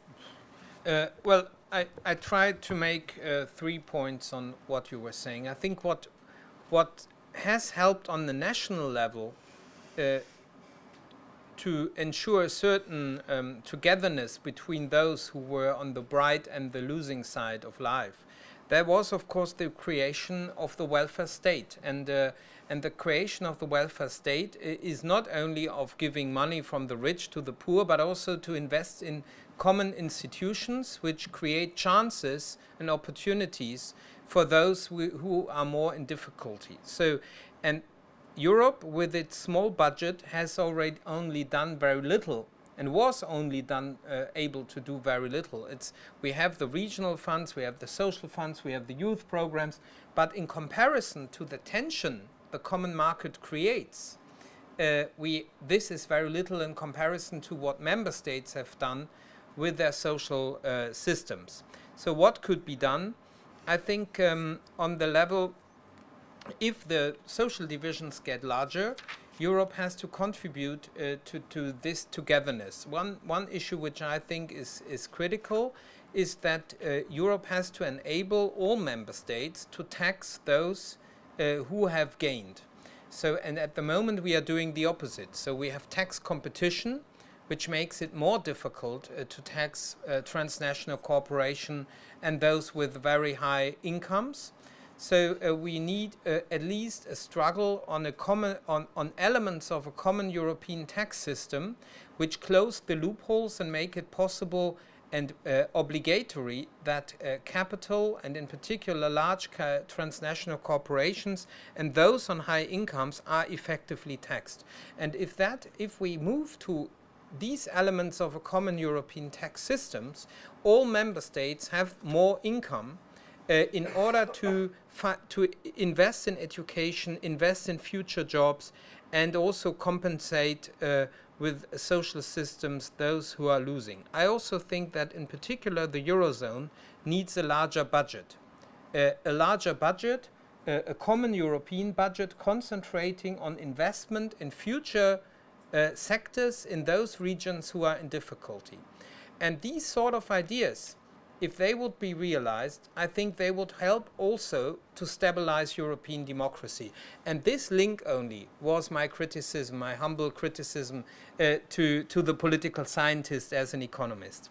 so, uh, and then uh, I would say I disagree with this uh, idea everybody has profited from Europe.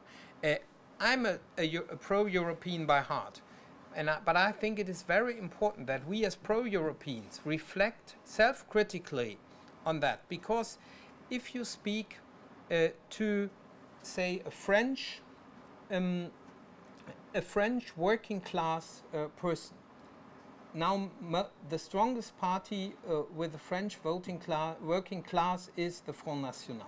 So, uh, why? Are they all stupid? I think they are not stupid.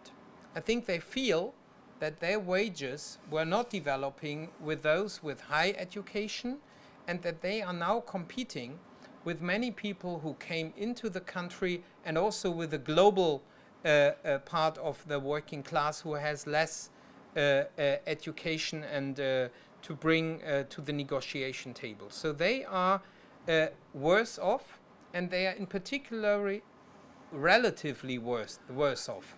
But uh, the feeling whether you are happy or not is not so much based how much wealth you have, but how much wealth you have in comparison to others. We are social beings. We are not unhappy because we don't have a Lexus car, but we are unhappy if we don't have one which our neighbor has. Uh, this we might not like, but that is a bit how we as social beings function.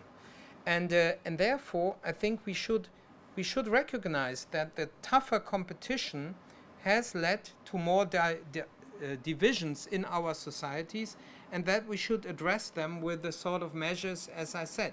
I don't say they can ever go away because with freedom there's also uh, there are also differences which is belongs to each other so we will not overcome uh, the differences but we can limit the inequalities and uh, and with east and west I'm not it's interesting to see that at the moment the support for the European project is bigger in Eastern Europe than in many of the old member states. I find that really staggering in the Eurobarometer data. So the problem seems not so much to be that Romania wants to leave the European Union, but the, the number of people who are unhappy about Europe is increasing in Italy, uh, in France, in Belgium, in Spain, in, uh, in Germany, even in Germany. And, and that is what uh, is, therefore, I don't see on that level the east-west uh, difference uh, such so much a problem. If I come to Eastern Europe, I see again the same division. In the capital regions, well-educated young people, they love Europe. They are in, in tune with Europe, like you, like you. But uh, if you go to the eastern part of, uh, to the closer to the Russian border in Poland, in Latvia, in, in Slovakia, then you see lots of old, older people, people who feel very close, uh, far away from Brussels, and who feel they have been totally forgotten. So again, also in these countries, you have a strong social division, and, and people who feel they profited and they didn't profit uh, from the integration project. While the common democracy with Romania seems to me much less of a problem. So uh, I, I'm a skeptic that the East-West holds so much. Uh, in a certain way, the divisions uh, are, um, well, have made us more similar uh, in the different uh, parts of Europe. So that is, uh, we are we are united in uh, in this growing division. That is how I see it. Okay, thank you.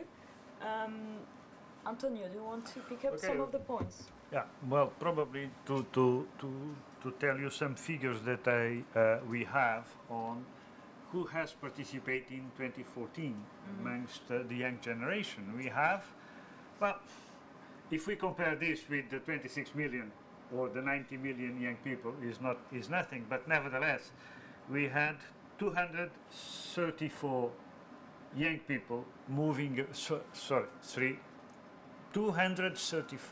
234,000 young people moving around Europe on the youth movement, either on mobility or young people or participating in events or making uh, volunteering activities or uh, so this it's not enough but this demonst demonstrates that really we are moving towards a more equal uh, opportunity for under Erasmus because this is outside the, the, the higher education mobility, the, the mobility made under the traditional Erasmus uh, uh, uh, perspective.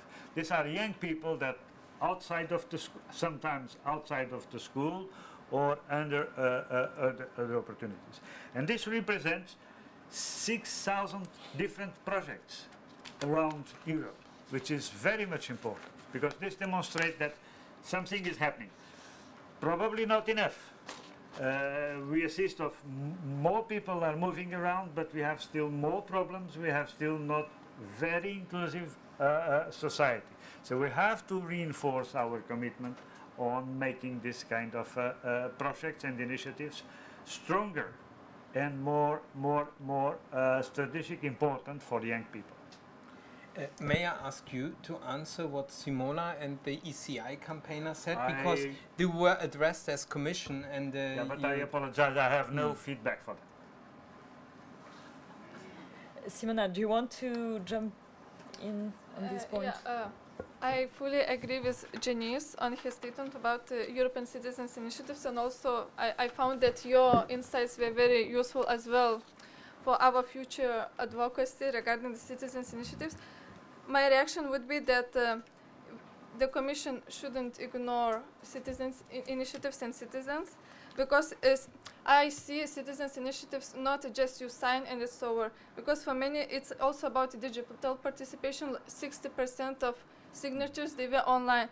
And many of people who organize citizens initiatives or who had intentions to launch a citizens initiative it was also as Janice mentioned cross-border cooperation. Some of them they establish uh, small ngos movements campaigns. So it's also about citizens empowerment empowerment of young people. It's also involved some people from disadvantaged background from disconnected areas because some issues were very relevant to certain countries or certain regions. And as tony mentioned i also agree that um, uh, the financement and funding should focus more on long-term um, projects initiatives campaigns because it creates a bigger impact and it empowers more people for example like voluntary service I participated myself, and, and I know also from the study uh, by the European Commission that if you take somebody from disadvantaged background, the impact is huge. And if you take somebody who already has two master degrees from Oxbridge universities, who traveled to the US, of course the impact is really very small because for these people it's something that I come to the event, I had a drink with people that I already know, and I feel good.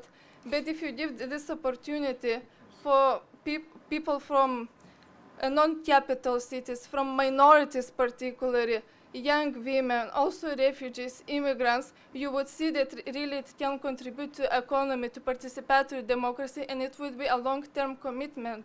Because what sometimes people need is this a small push from side that they can get uh, empowered and enabled. Thank you. Thank you. Uh, if I may add something here, 35% of the mobility made in 2014 were from disadvantaged young people. So 35%, which is, re- well, it's not, it might be better, but it's already a huge amount. This means that the, the NGOs that really propose this kind of activities pay attention to bring people from disadvantaged areas to this process. Okay. I think I will take three more points from the from the future labbers because we only have 10 more minutes. So there is uh, Franz who would like to intervene. Thank you very much. My name is Franz Almayer, and I authored uh, part of technology from our publication. And um, thank you for everybody's input. I just want to summarize it and kind of bring it to context. Uh, we talk about youth unemployment, we talk about healthcare, we talk about all these things that are happening.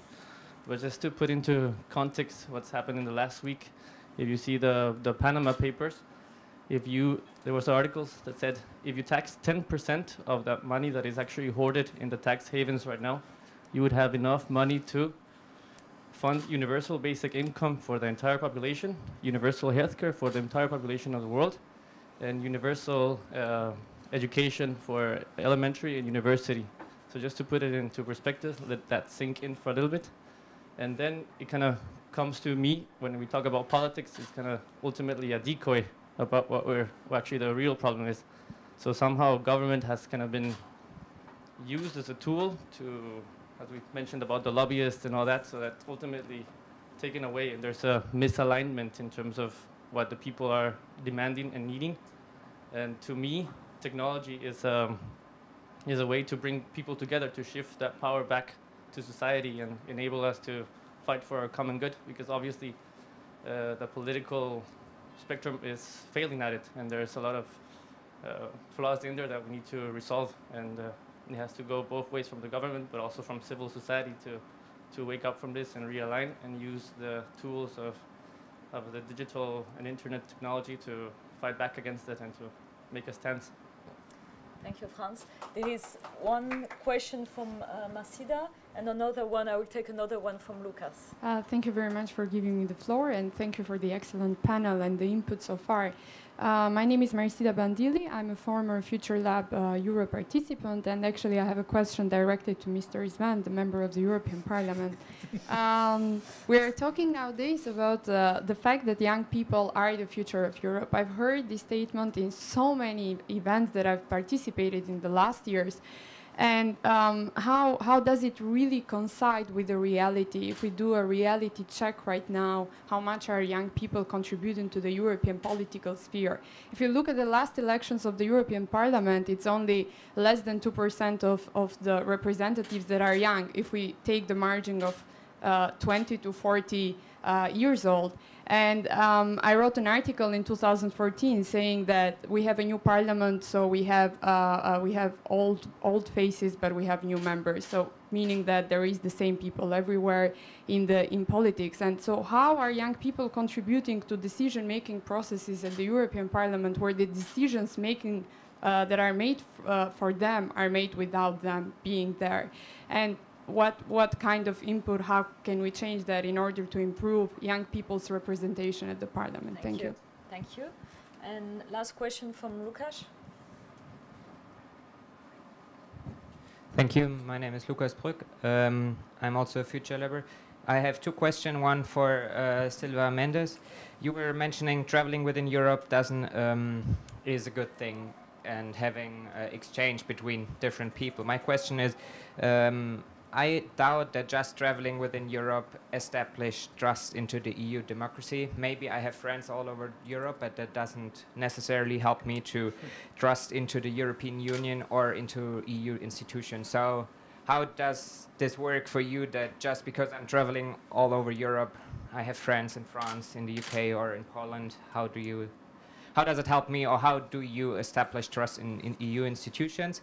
And at the same token, uh, my question for both of you, um, you were speaking about different tools to participative democracy, like the citizenship, uh, citizenship, uh, uh, citizenship uh, initiative on water, which was basically not um, followed through, or the referendum now in the Netherlands, uh, where Juncker, the only thing Juncker said about it is I'm sad about the out outcome. So it was a proxy election for sure. It was not just on Ukraine, but nevertheless, having um, just the answer of I'm sad about, or as your colleague Ms. Harms said that she was criticizing the referendum idea as a whole. Um, so I'm wondering if we give people or the European people uh, tools to participate, but then we're not listening to what they have to say, then maybe it's even worse than not giving them the tools because it might be even alienate them more as they are already to the European Union. Thank you. So thank you for all these very interesting uh, questions. So we go back to um, to the panelists, and I would also ask Ivo and Simona to come up with maybe one key policy recommendation or one key message for our policymakers. But first, I start with you, um, Antonio. Uh, when I talk uh, traveling is not traveling by traveling, it's not uh, tourism. When I talk about traveling is under Erasmus uh, uh initiative or under youth uh, uh, volunteering is participating in a trans-border initiative. this can have two main impacts, I believe. One helps the people that are going on mobility to create more competencies uh, on adaptation, on different areas, languages, and so on, and can also be very important for individual employability. At the same time, if we realize that this is under the European institutions umbrella, this can create some sort of I will not say recognition, but involvement. And the fact that you are having an European, uh, you have friends all over Europe, your virus in terms of European uh, approach can, can, can, can increase. So in that extent, mobility can be a very useful instrument, not only for the individual increase of competencies, uh, in terms of increase your employability, but increase your active participation. Uh, but what is active participation for you? sorry? What is active participation? then? Active participation is you are involved in the society. You are involved in uh, the common goal. You are participating in helping uh, inclusive people or helping society for growing, participating in sports activity for all. Uh, it can be a lot of things. It depends on what is you are willing to participate. If you have your agenda, your own agenda, first, second, and third, or you have the common agenda at a certain point in your personal agenda. Thank you. Thank you. Maybe also on the parliament and the representation of young people um, in the European Parliament? So, um, at least uh, first, I would like to say that I think young people they profit from more participation if there's more participation for all. I didn't do any, and I said it in the beginning, any of these calls.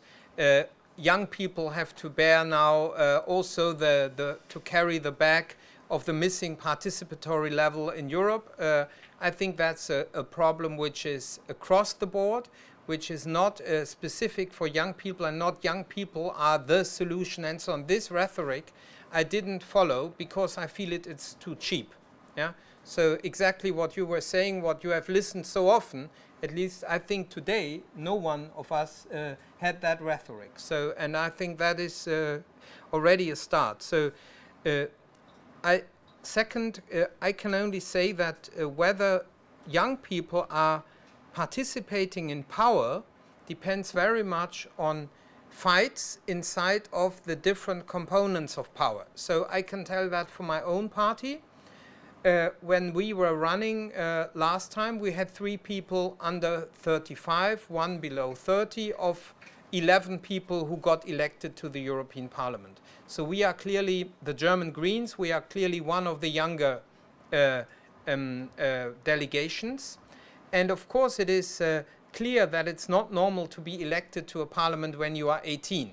You are elected when you have done a certain way of education and experience. But at least we, in our party, the young people won the struggle to get on the lists.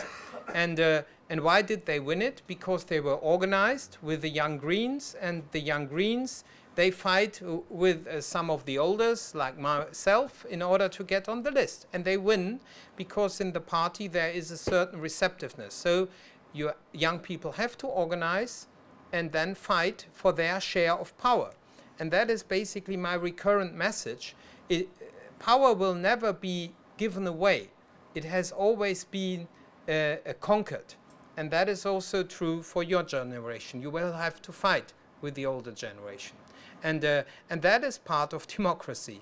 And uh, that and and me as someone who has a responsibility in my party and it's well known I was always in favor opening the gates of power towards the young. And uh, and that is something I support. And uh, but also young people should measure uh, uh, older people whether they are willing to share power or whether they are unwilling. And you should expose those who are unwilling so this is the sort of uh, uh, of way I think how to deal with that. And then I would I answer, like to answer to Lucas. Uh, first, uh, the water initiative, in a certain way, was one of the initiatives which had a real world consequence. At least they got a part of their uh, uh, demands. Many others of the initiatives got nothing. And I agree with your criticism and your criticism with the Commission that they were not taking seriously these initiatives. And people will not, will not participate if they don't feel the participation has an effect. Mm. I understand you cannot comment because it's not your responsibility. But Mr. Juncker, Mr. Timmermans, I think they should be ashamed. They should be ashamed because they are not using the voices of the people to legitimize the European project. Even if they don't always disagree, uh, agree, they should at least um, show that they take it truly seriously. Of course, if one million people sign something, it doesn't give them the right to determine policy. That would be very unjust towards the other 500 million. But it should be really having an effect that the decision making system reflects. And when you look to TTIP, you were saying it, 3.5 million people signed. And what is the system doing? It is, in particular, in the Commission, I do not see that they have understood the lesson why so many people are skeptical. They haven't understood it. So, and uh, lastly, point on this uh, to come back to Lucas, the Netherlands referendum against Ukraine. Well, what some people there did was really cheap and bad mm. because they misused a national referendum to kill the future of a whole country of 40 million people, a future inside of Europe. This is a shame and misuse of the possibility of a national referendum. I'm very clear on this. Not a be I'm in favor of direct democracy. I'm a member of More Democracy, which was the German association which has led to the anchoring of the um, citizens initiative in the current uh, European treaties. So I'm very much in favor of direct democracy and so on. But there are some criteria for legitimate direct democracy. For instance, not uh, 15 million Dutch can decide for 500 million Europeans. I think there should be European direct democracy, but it should be then European-wide. We cannot allow that a referendum in one country determines for all of us whether we can have a treaty with Ukraine. Second, we have to make sure in the process that such a referendum is not uh, then misused in order to do uh, Dutch politics. While we are deciding, de facto, they have decided about the future fate of young and old people in Ukraine. So therefore, this Ukraine referendum is, and there I disagree with Rebecca Harms, and I told her personally also, I disagree with all her general statements which were negative about de direct democracy.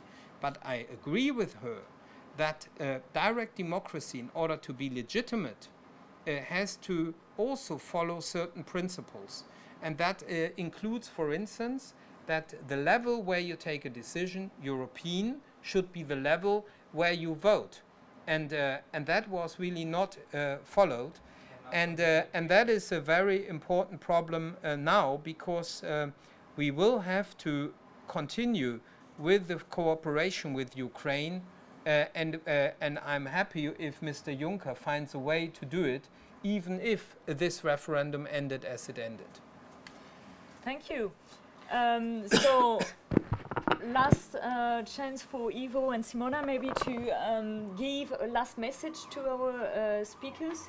So how to revive democracy in Europe and how to change the, the face of democracy. Yeah, thank you. Um, well, yeah, I think the main thing for me, as if I speak as Ivo Visak or not representing the whole Future Lab, uh, is the openness of this whole uh, European Union processes also, and how they are done and very much reflect on what uh, Vargas wrote on the whole ideas of making a lot of these council meetings more open, televising them or whatever else. The thing is that there's a con constant disconnect of feeling that why should I care? Why should I really care if there is like not really any knowledge on what's happening there? What are the weights on that measure these uh, uh, decisions that are made? And uh, that's, that's, that's the point of the political lines that should be clear. Because uh, until we don't know why these decisions are made, it's very also very often a very big question of uh, why should I follow them through. So yeah, more openness. Thank you, Ivo. Simona? Uh, I also will speak uh, as myself, as Simona Pranskutė. Uh, so uh, my statement also would be a bit more political that uh, we should invest in and provide a better support for both organized and non-organized civil society movements so that they can be an important vectors for making lively, direct and participatory democracy tools more accessible and efficient. Thank you. So to uh, conclude, because we are now reaching the end of, of our debate, so just I would like to go back to one um, to one point made, I think, by by Sven. So saying that we are in the middle of a crisis of uh, Western uh, democracies, and if we look at uh, what's happening across Europe, so it's very clear that there are some similar symptoms uh, emerging in all corners of, of uh, Europe. So uh, symptoms of uh, social uh, anger, of social distress. And this is a trend that very much transcends um, all national, national borders. So we are uh, clearly in, a, in the middle of a crisis of um, also electoral and national uh, representative democracy. So I think that it very much uh, highlights the need also for finding some common solutions. So at the at the European level, to uh, maybe also back um, this movement for pan-European uh, democracy. Um, so I think that again, so the, the publication contains uh, very good ideas and uh, recommendations for that. Um, I will also encourage all of you uh, to take part in our social media campaign because the social media campaign will continue for uh, some weeks.